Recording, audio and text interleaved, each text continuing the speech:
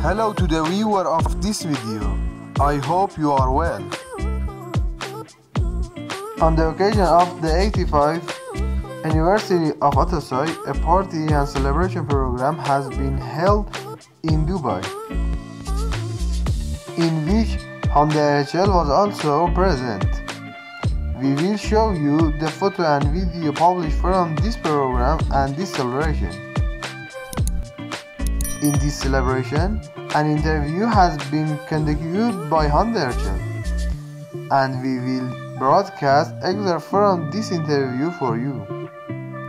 Also, new photo of this famous actor have been transferred to Turkey, which are related to the program's picture and the Khalifa Tower in Dubai.